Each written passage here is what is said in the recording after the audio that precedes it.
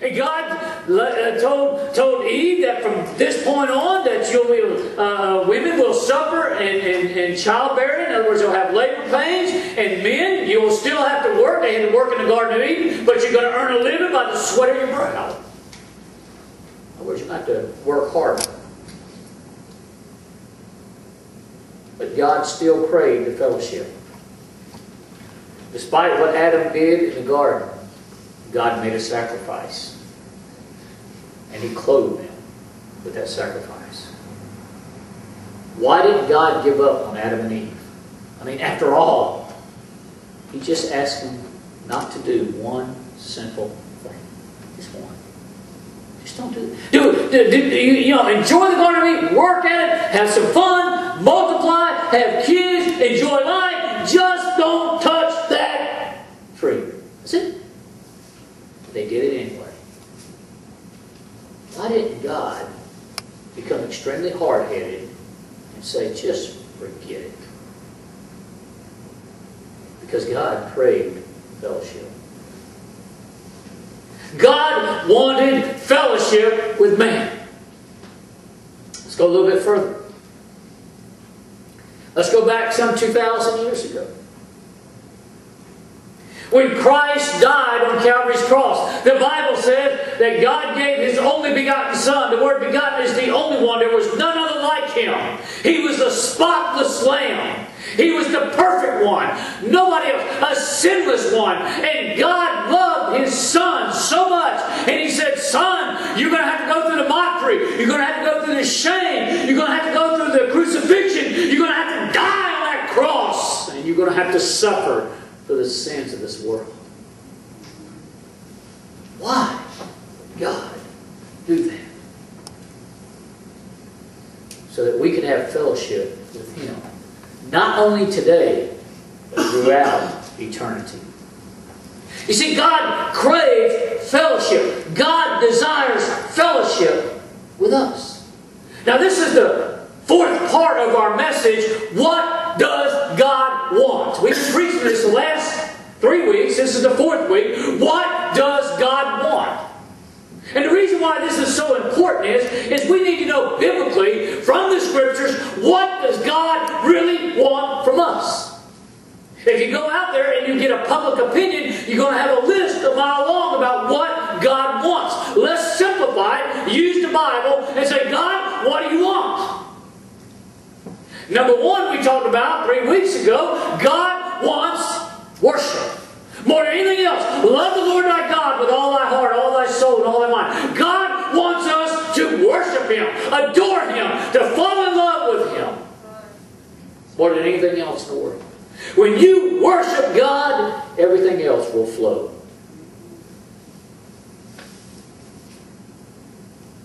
Second thing we talked about, what God wanted was servanthood. He said the second commandment, the greatest commandment is to love thy neighbor as thyself. In other words, be helpful, be, be a servant. Christ even, even eh, eh, he led the example when he came down eh, and he said, I, don't, I didn't come here to be served, I come to serve others. Christ came in form of a servant. When he died on the cross, it was to serve. When he went through the mockery and the shame, it was to serve. It was to serve the Father. It was to, it was to be a servant so that we could have eternal life. So God said, first of all, you want to know what I want? I want worship. And then I want servanthood. And then last week we talked about the third thing God wanted, which was evangelism. As we read in Matthew chapter 28, verse 19, he said that go, uh, go, and, go into, uh, uh, and teach all nations. The word teach there means to witness. God wants us to tell a lost and dying world about Christ. He wants us to support missionaries so they're able to tell people we cannot reach. He wants us to, to, to support missionaries in, in, in prayers and in finances and everything else so they can reach people we cannot reach. But He expects us here to reach others by evangelizing or by witnessing. That's very important. But you notice they got to come in this order. If you try to evangelize without worshiping, it's not going to work very long.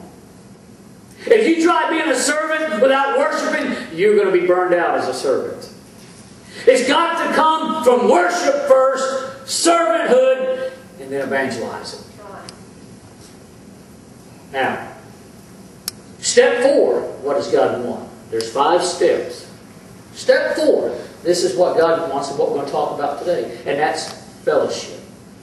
God wants us to fellowship with Him and with other believers. However, listen carefully. He wants to do it through a team.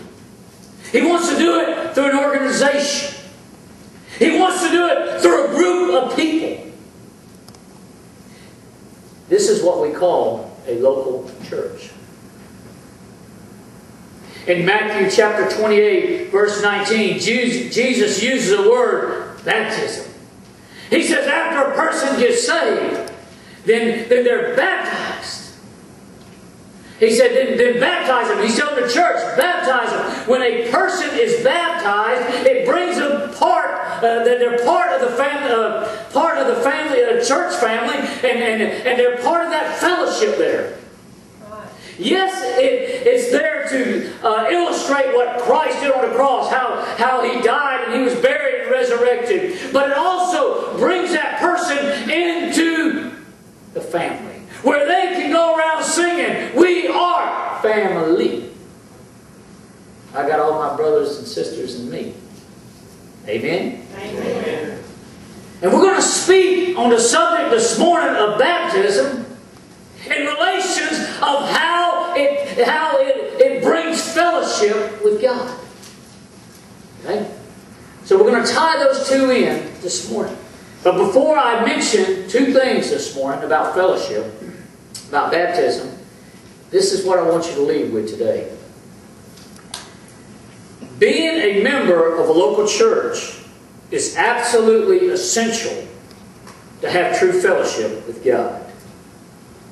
Being a member of a local church is absolutely essential to have true fellowship with God. Let me explain to you real briefly what I mean by that. There are people today that says, you know what, you ain't got to go to church to be a Christian. There are people today that are saying, you ain't got to go to church to get to heaven. There are people today that says, well, you know, you don't have to go to church to worship. Why would you say something like that? No, you don't have to go to church to go to heaven. I don't think you'll do much worshiping without church, without a church family. I think you'll find something else to do. I would. So why would they even say something like that? You see, it's absolutely essential that, that as a local church that, that, that we're here uh, as a family, it's, it's, it's absolutely essential that we have true fellowship with God through a local church. Let me share two things with you this morning about baptism because baptism is another, it, symbolizes fellowship also. Number one, baptism is necessary and expected. Baptism is necessary and expected. There is a lot of confusion today on the subject of baptism. The concerns or the confusion begins with how to, when to, and why. Why should I get baptized? How do you get baptized? What's the right way to get baptized? When should I get baptized? Different churches have different opinions. Different people have different opinions. But this subject, you can really begin to stir, uh, stir up a hornet's nest, if you would, by meddling with baptism.